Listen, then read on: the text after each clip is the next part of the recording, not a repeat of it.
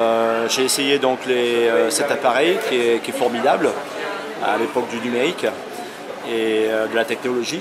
Donc le premier exercice tête fixe, ça m'a permis de, de confirmer si j'avais une tête qui bouge ou pas. D'accord. En fonction des, des bips, des, des sons. Et le deuxième exercice, la, la position du corps. J'avais une position qui, qui, montait, qui descendait, comme si on nageait en vague, en mer. Et là, euh, en, piscine, c'est formidable parce que c'est tout est lisse et ça confirme aussi la, bonne position. D'accord. Donc ça, ça m'apporte, euh, c'est un auto-coaching en fait. Euh, ça me permet de, corriger tout de suite, surtout sur, en mon avis sur des séries. Je m'engage sur des séries Pour, pour rechercher l'économie. bien sûr. Hein, de, l'effort.